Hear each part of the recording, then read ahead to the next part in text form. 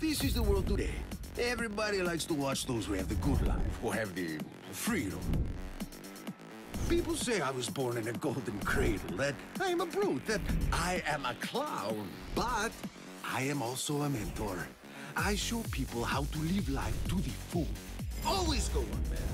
Risk everything. Do all the things they say you cannot do. No one is born complete. You gotta become who you are. If you don't burn out at the end of every day, you are a bum. Yes, Eddie Escovedo, folks. The self-confessed playboy, reality TV star, and extreme sports fanatic now has 70 million followers. I am bigger than the Pope. More talented than Amadeus Mozart. I've got more wisdom than Gandhi.